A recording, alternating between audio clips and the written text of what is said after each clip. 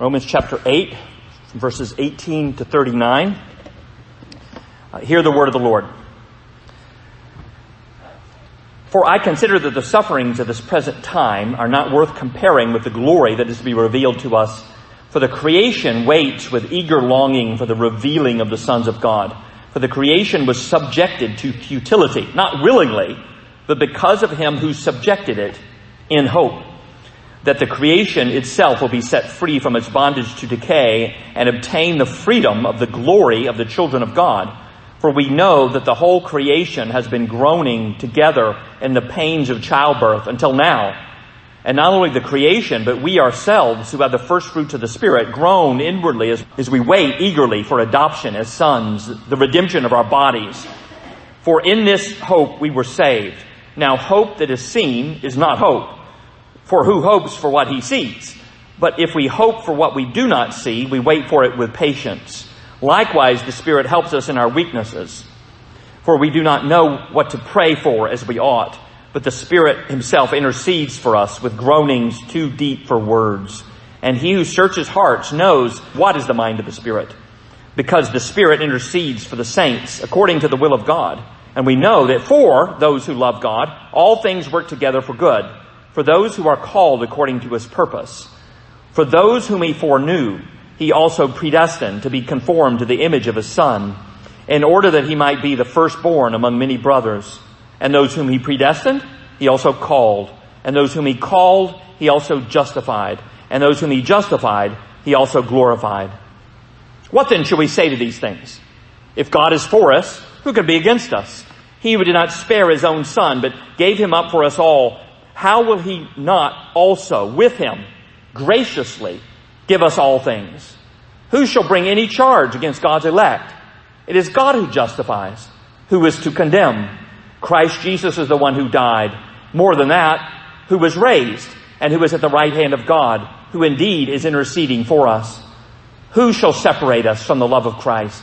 Shall tribulation or distress or persecution or famine or nakedness or danger or sword? As it is written, for your sake we are being killed all the day. We are regarded as sheep to be slaughtered. No, in all these things we are more than conquerors through him who loved us. For I am sure that neither death, nor life, nor angels, nor rulers, nor things present, nor things to come, nor powers, nor height, nor depth, nor anything else in all creation will be able to separate us from the love of God in Christ Jesus our Lord.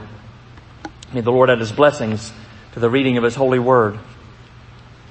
Well, do you hate risk? You dislike insecurity. You know, people will sometimes work some jobs, like for the government, that maybe don't pay so well, but which offer security. They know they're secure. They won't be fired. They won't be laid off because the government isn't going out of business. You hate the feeling that you can't be sure of something or someone. People will pay for insurance, you know, like for their house. So even if it burns down, like ours almost did, they can be sure that they still have a place to live. People will pay big to be sure. We love dependability. Someone you know you can count on. If they say they're going to be there, they're going to mow your grass, they're going to pick you up at the airport, they're going to play music, you can rest assured that they will be. You can consider it done. Dependability is one of the qualities employers look for in an employee, that he or she will be at his, his or her desk or station every workday, on time, like clockwork. So much so, a company in Raleigh, which will do, which does chores for you, from cleaning your office to your doing your laundry, checking on your elderly parents, or whatever errand that you need done, calls itself consider it done. People love guarantees. This is true in relationships too. We don't, we don't want that feeling of vulnerability of, feeling uncertain about whether someone will let us down. So in marriage or in major offices, uh, we expect vows, oaths to be taken. We want an assurance that they will do what they say they will do. That it's not just a sweet thing they say when they're feeling romantic, but that they will really love and cherish until death do us part that they will uphold the Constitution against all enemies, foreign and domestic. Now, in biblical times, people would enter into these kinds of guaranteed relationships, pledging that they'll keep their commitment no matter what happens. One man might promise to another that they'll, they'll look after each other's family if one of them dies. This other man, if he dies, I'll look after your family. If I die, you look after my family. And they would seal that relationship in a very serious ceremony, often walking together through the middle of a, a cut up animal, cut the animals in the middle, in half, walk through the middle of them and say, hey, what happened to this animal happened to me if I so much as break one word of this covenant. That's why sometimes it's called cutting a covenant. A covenant is a guaranteed relationship so that you can consider the responsibilities of the relationship, the promises of it. You can consider it done. We want to guarantee that what we're promised is as good as done. It is certain. And so people have taken to saying when asked to do something, you know, fix my car or clean the house, mow the grass, they'll say, consider it done. I'm definitely going to do whatever it is you just asked me to do, so it might as well have already happened. It's so certainly going to happen, you can assume it already has. I'm guaranteeing it. Rest assured. Of course, some will say, there are no guarantees in this life. Benjamin Franklin famously said that the only thing you can be certain of are death and taxes. And that's probably true for most people. But there's another group of people that there is a guarantee of things for them. Some, some things that they can be certain of. And not just death and taxes, but of a great treasure. The guarantee is so certain for them, you can consider it done. According to this passage, second half of Romans 8, God's people, his adopted sons and daughters, can be sure of what God has promised, of everything for all time. And we see that here in four parts. First, the groaning, then the glory, the guarantee, and finally, the greatness. The groaning is what we're going through right now. We have sufferings. Verse 18 it begins in this passage saying, in this present time, right now, while we're on this sanctification highway, on this epic journey of spiritual growth that started, in, at least in our experience, started with justification. That's with no condemnation. There is therefore now no condemnation. That's justification. That's the way it begins and it ends in glorification here he talks about, in this passage, the, the coming glory. So we have the, the now of being right with God in justification, no condemnation, the now of being right with God, and the not yet of a glory to be revealed. Now, while we're on the journey, we suffer. We groan. To grow, you have to groan. Groaning is so much a part of this age that the whole creation is doing it. In verses 19 to 21, the whole creation waits expectantly for glory to be revealed because God subjected the creation, he says, to futility, to, to meaninglessness. That it will end up resulting in the creation by itself will turn out to mean nothing. It bears thorns, it offers obstacles to work, the sweat of exertion as we work and work to, to get what under the sun? In Ecclesiastes, you see the grotesque reality of, of, of vanity. Similar, same meaning of the word here as futility. So many people spend their whole lives working hard, sacrificing. They get married, they have children, they make money, they work, they get up every morning so they can make more money and pay the bills. And what's the end result of it all? Nothing. The chasing after the wind. Whole human lives are lived from beginning to end and result in nothing futility, vanity, meaninglessness. They mean no more than, than a vapor, like your breath on a cool day. Here in one second and gone the next, leaving nothing behind. Just wasted time. You load 16 tons, what do you get? Another day older and deeper in debt. Here it is not just people who are subjected to futility, but the creation itself. The water falls in the rain, it runs into a stream, and then into a river, and down into the ocean, then evaporates in a cloud, blows over land, and falls on the land again, and again, and again, and again. There's never any progress. It, it's just going in a loop, absolutely meaningless. Plants and animals live and die, and it goes on and on, and everything eventually is winding down, running out like a clock. The stars will burn out, planets and comets will eventually peter out, atoms themselves will eventually lose the power that holds them together and they'll break down. In science, they call this, by the way, Paul wrote this, of course, well before modern science, but now we know this is true scientifically. It's called the second law of thermodynamics. That is, the heat and our energy, even the energy that keeps atoms themselves together, is eventually running out. The universe is, is on a, a course and it's running out of energy. It's running out of power. Like driving your car long enough without getting gas. It's eventually running out and so one day, with enough time, there will be nothing but a cold, dead universe. Heat death. If, of course, it stays in bondage to decay.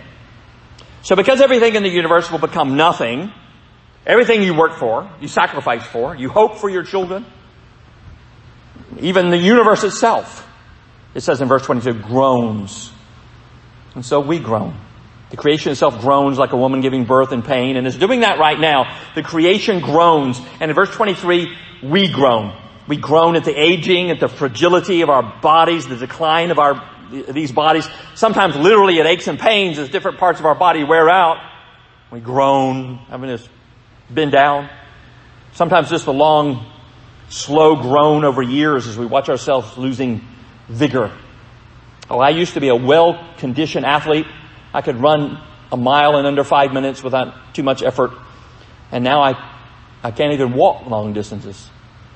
We groan for ourselves spiritually as we see the effects of sin, not only on our bodies subjecting them to death, but on our hearts, as in chapter 7, we long to be freed from this body of death, this flesh. We groan in our prayers for our growth, for others to be broken out of their bondage to sin, for spiritual breakthroughs, so we don't break down. Sadly today, some Christians want to deny that we have to do any groaning. They think they can, that everything can be pleasant and, and happy. Now it's always victory and from one to another. And some do more grinning than groaning. That's not real. That's just a cover up rather than dealing with the things we need to groan about. Groaning is part of growing. Not only does creation groan and we groan, but He, the Holy Spirit, groans with us in verse 26. We don't know how to pray. We're too weak to even pray correctly. We'll ask for the wrong things. We'll ask it in the wrong way. That's why in prayer meetings sometimes I think people think I'm so boring, always asking for the wrong things. Always about health, the body, that kind of thing. We'll forget to praise and thank. We'll be too concerned about health and money, but not enough for our relationship with God, about our remaining sinfulness. And so we need the Holy Spirit to help us pray. Help us in our prayers. Prayer is not something that can be reduced to an intellectual exercise. You check off a list of items. Like you can go to the grocery store with a list and you get the right things, or prayer, you say the right things, you satisfied, you covered all the, the bases. Prayer is not sufficiently like that. You need a time of silence. You need expressing something with your heart that often can't be put into words.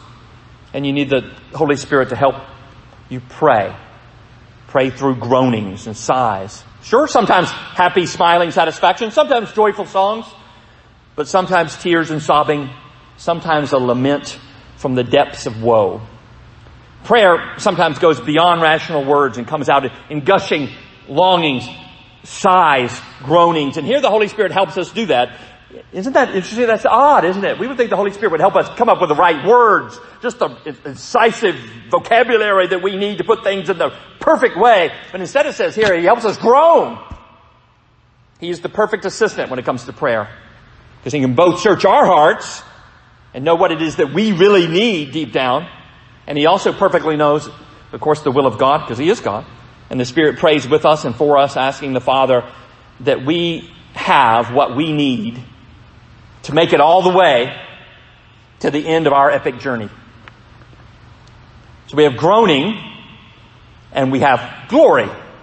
Glory is to be revealed to us in verse 18. That is, we are, we will see glory. The glory is to be, is going to be so great that everything we have to suffer, that everything that makes us groan, is it worth comparing with the glory that we will see? The, the joy of the glory will so overwhelm the pains of the groaning that we won't even remember those pains anymore. We'll forget about all the groaning when the time comes. The glory is revealed first to us. So we'll see it first to us. And then it is revealed, he says, in us in verse 20. Uh, when the adopted children of God are finally fully revealed to the entire universe. In other words, the, the universe, other, the unredeemed, the angels, demons, the world itself, everything will see these are God's children. They will be manifest. They will be displayed. These are the children of God all along. And then the universe itself will be set free from its groaning and decay. Now it's eagerly waiting for that day. It's anticipating it. It's, it's waiting like someone waiting with, you know, their head raised up. That you might wait at the airport for, for someone very special to you to arrive. Is, is he there? Can I see him? Getting on your tiptoes. Waiting. Is he or she coming through the crowd?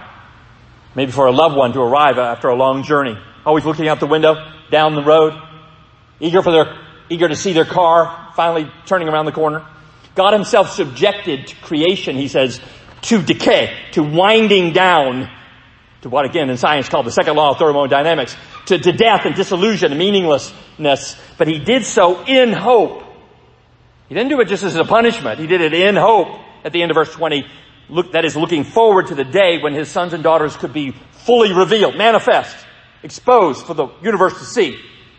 And then the, the bonds of futility would be loosed. Here God put the universe in bondage to futility in hope so that we would see how futile life in the flesh, under the sun, is, and we would seek to get our meaning from Him.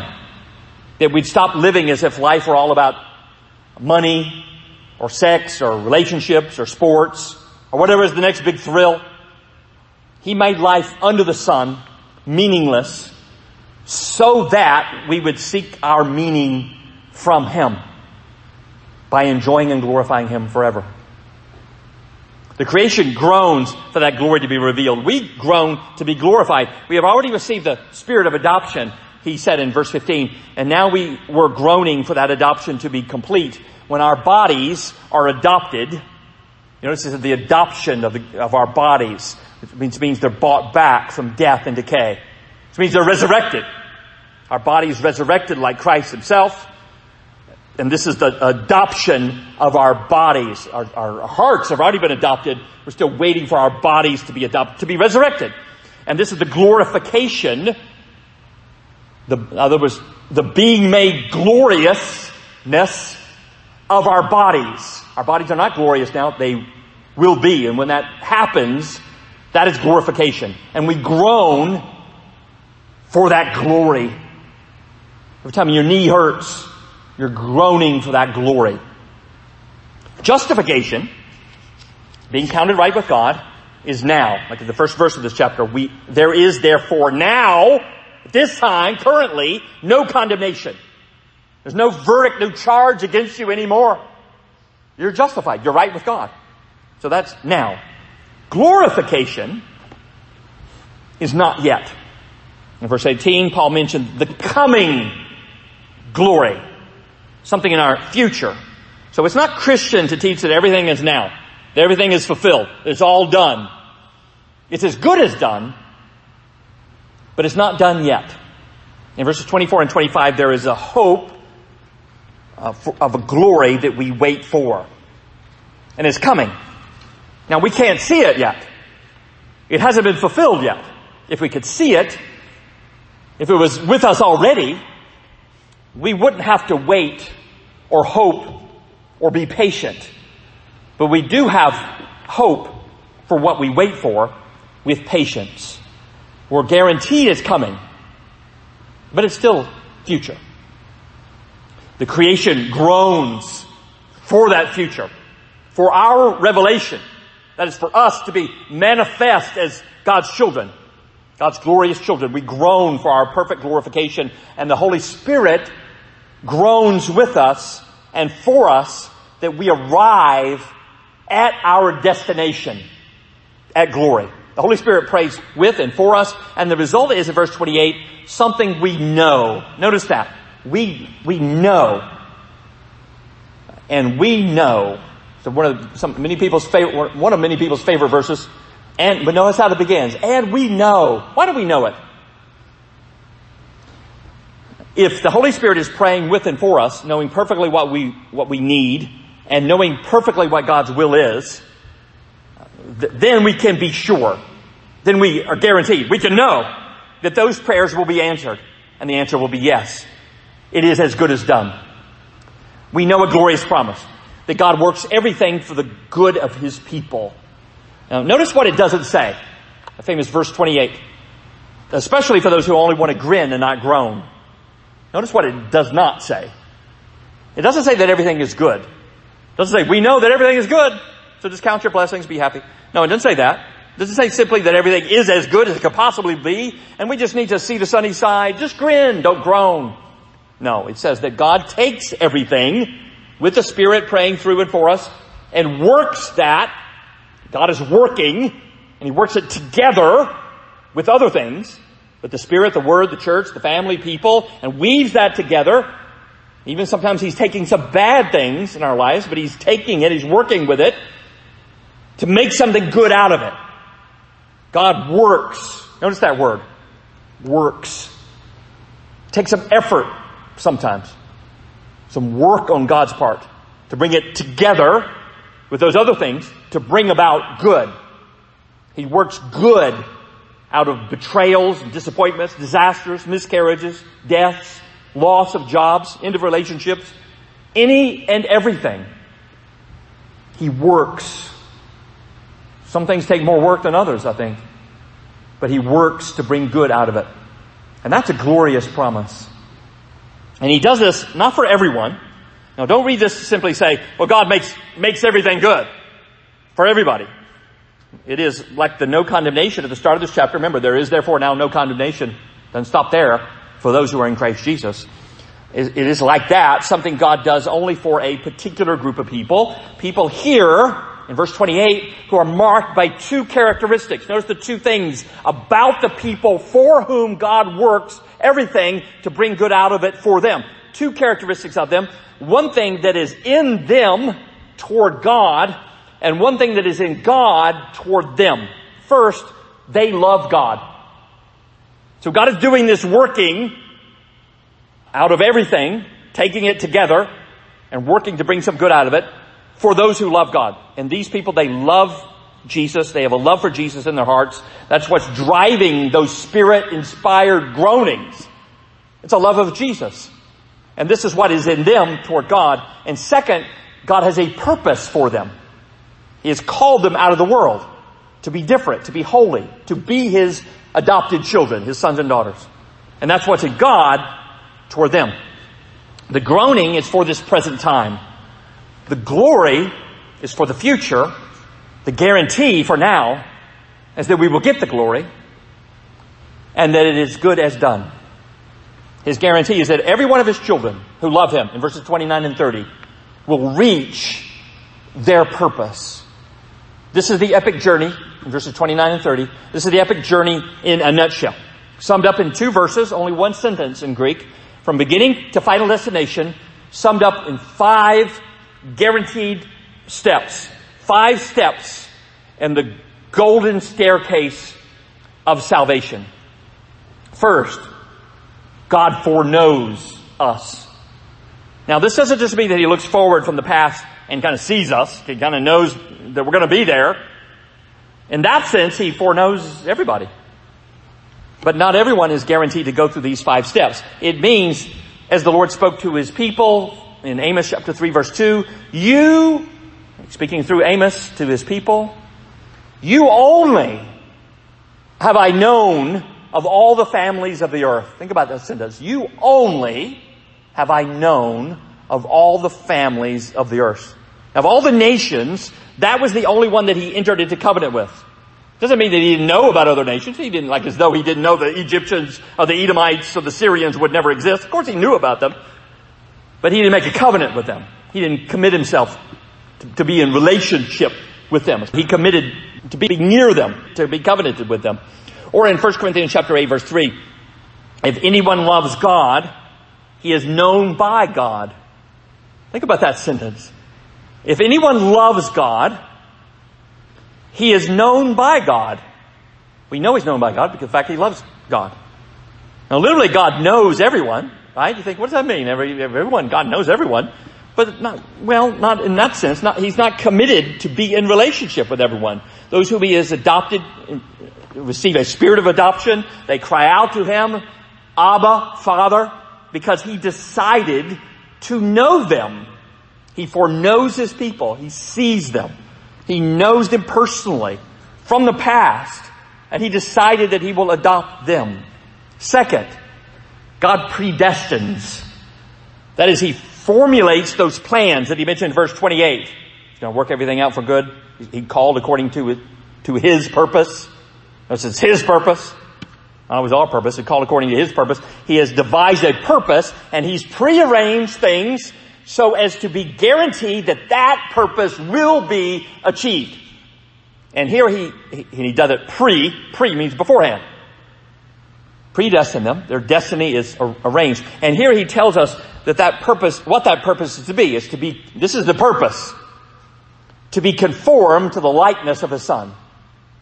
In other words, to be like Jesus. It is God's plan for his adopted sons and daughters to be like their older brother, Jesus. And he is working everything in our lives, uh, all those, sometimes those bad things, he is working, sometimes with other things, he's working to bring good out of them and to make his children, us, more like Jesus. That's what he's doing with it. And the Spirit is praying with and for us for that. Everything is being weaved together to bring our, our Christ likeness about. So that Jesus will be the first like himself on earth. That there will be many more people like him. That's stage two. We are predestined to be made like Jesus now. Third, in verse 30, those whom he predestined, he called. This is when God's plan for us that he devised, when he foreknew us, he predestined us, in eternity past, when it came, His plan came into the history of our lives. When the Spirit began to speak to us. Maybe the gospel that we had been ignoring for years began to get our attention all of a sudden. To make sense. Something we hadn't been paying attention to before. And now it begins to make sense. Before it made no sense if we ever even tried to think about it. Now it, it, it begins to be sensible when it began to be irresistibly attractive. This thing before we, we found no interest in. Now, and now we're fascinated by it. The, the gospel is drawing us in. God is calling us now at a certain time in our lives. This is when a voice began to speak to our heart through the scriptures or, or through preaching or through a song or in our conscience or through a friend or a parent. And it began to irresistibly, God is irresistibly drawing us to Himself. We were called because previous to that, God had predestined us when He decided that of all the people on the earth, He was going to know us. Ever decided you want to make a call to someone? A phone call? You're going to make a side beforehand, I'm going to make a call. Certain time, certain person, certain time, particular person, a particular time. You resolve maybe next Mother's Day, I'm going to call my mother 3 p.m. And you do. You make the call. Here, God foreknows, and as He devises the plan for His chosen ones, He predestines, that is, He guarantees His plan will work, and then at the chosen time, He makes the call. Fourth, those He called, and notice, by the way, for every step of the way, everyone makes it to the next step. Right? Does it say those he foreknew? Some of them he predestined, and those he predestined, some of them he called, as though, as though some of them are getting sifted out step after step. No. For every step, everyone makes it to the next step. There's no exceptions.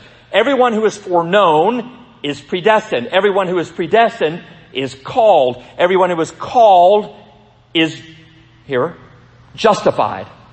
That is declared right, declared just. The righteousness of Christ is counted to everyone of the foreknown, the predestined, of the called. And finally, everyone of the justified he glorified. Everyone. Now one falls through the cracks. Now one gets to be too much trouble. Yeah, I justified him, but I don't think he'll make it to the next step. as though he's just all groaning and no glory. As the U.S. Army Rangers say, no one is left behind. Everyone who is justified is glorified. But as we saw earlier in verse 23 to 25, glorification is in the future. Now, did you notice this about this last step? We saw earlier glorification is in the future, but here, oddly enough, it's phrased in the past tense. Everyone who is justified is glorified as though it's already done. It's in the past tense.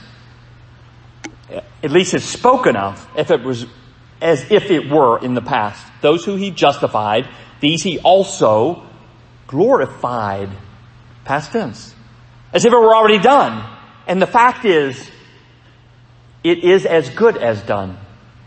Glorification, that resurrection of our bodies, that, that adoption of even our, our, the physical part of us, glorification is so certain for the foreknown, for the justified, for the called, so assured that we can speak of it in the past. God has resolved it in the past for His people. And that's what matters the most, isn't it? God's resolution. Even though the reality of it is still something we wait for in the future, it is as good as done. This is the unbreakable chain of salvation. Five linked steps up the golden staircase to heaven. That is, every step is so linked with the next one that even though in our experience we are in the middle of the steps, we can speak of them all as if complete. Even though in experience, in our personal, that is in our personal history, we are between justification, there's no condemnation for us now, and glorification. Our bodies are not redeemed yet. They're still dying. Yet we can, because of God's guarantee, consider our glorification as as certain as any accomplished fact of history. So here we have, we have history and eternity. What's not yet done in our history is done in eternity. And so we can consider it done. Now for over seven chapters now. Take a step back from this. After verse 30. From seven chap, for seven chapters, from chapter 1 verse 18, where Paul started uh, with the startling, terrifying news that the just anger of God is being revealed against ungodliness and unrighteousness. Uh, he started to, to show us that no one is righteous, no one seeks after God. He has been climbing up through justification, our dying and rising with Christ, our remaining sin, our triumphant epic journey, and now has reached the pinnacle. God has a people that He decided beforehand to love he purposed to save them, to call them effectively. He will call them. He is calling them. And He's not losing a single one.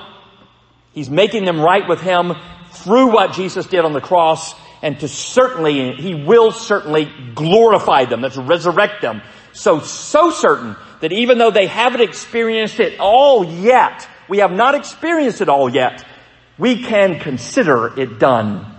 He is in here, Paul is at the pinnacle of this magnificent mountain of salvation. And now, from verses 31 to 39, kind of, he kind of stops to celebrate the greatness of what God has done. He is the peak of this mountain and stops. Take a look. Look at all this. How far we've come from the begin, from chapter one. Look at this magnificent view. Those concluding verses from 31 to 39 are more doxology than theology, more praise than a lecture. Now look at the great view here. It begins with foreknowledge. It ends with glorification.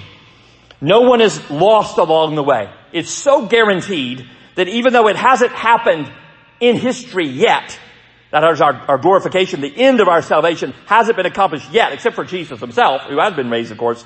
We can still speak of it in the past tense. That being the case, Paul begins his little victory dance in verse 31. What should we say to these things? What can we say about this? This foreknowing and this predestining and this calling, this justifying, this glorifying. If God is for us, and He now most certainly is, look at this, God is for us. Who can be against us? Who? Now surely many will try. The world, the flesh, and the devil will try to be against us, but their rage we can't endure. For lo, their doom is sure. Look at the great view in verse 32.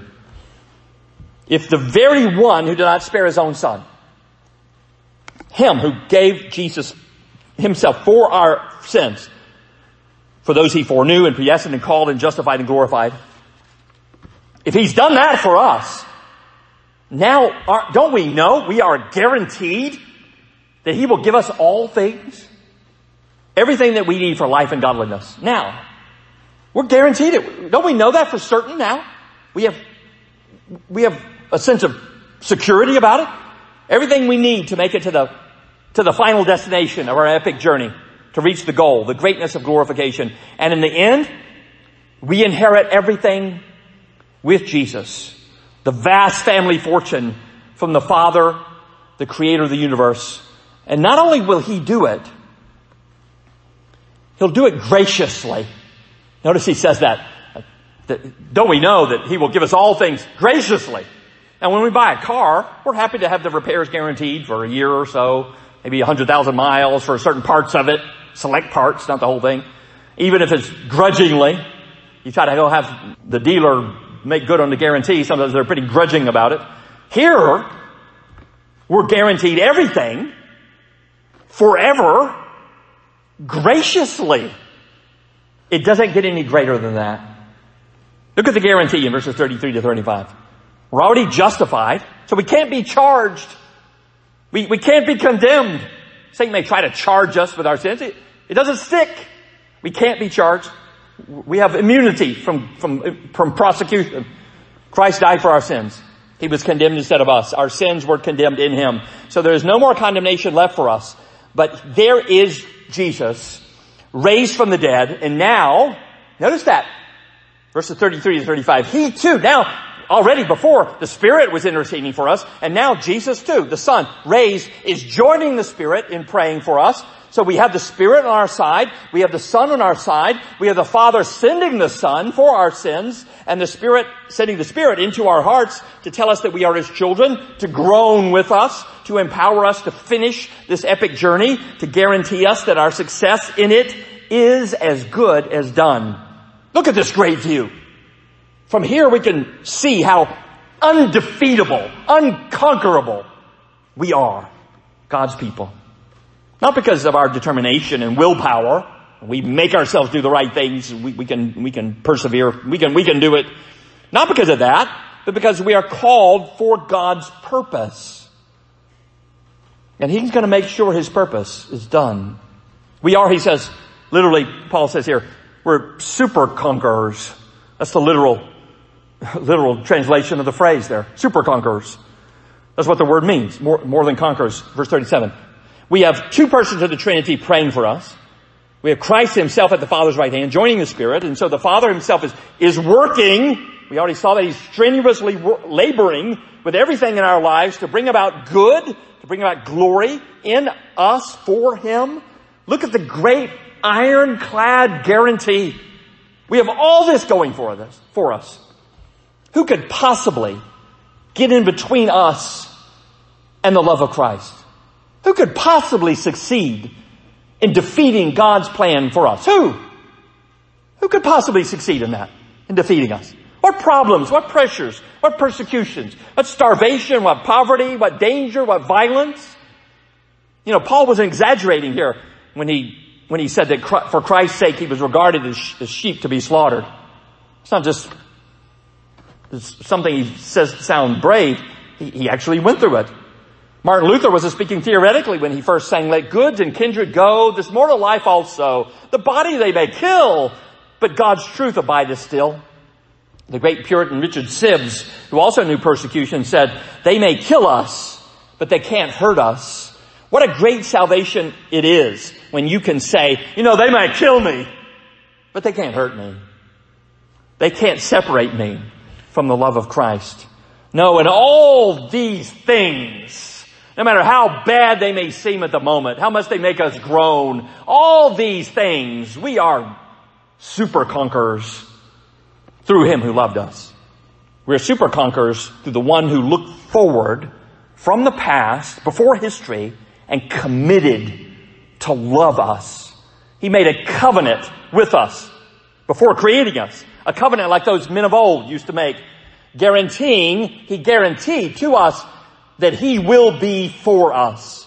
For I am sure, I am guaranteed, blessed assurance, that neither death nor life, nor angels, nor rulers, nor things present, nor anything you can imagine in the future, nor powers, no experience, no abandonment, no betrayal, no abuse, no supernatural power, no government, no laws, nor height, nor depth, no depression, no addiction, no mistakes of our own, our sins of our own, nor anything else, nothing in all of creation, no pandemic, no virus, no death, nothing in the entire universe will be able to separate us from the love of God in Christ Jesus our Lord. God guarantees it. Consider it done.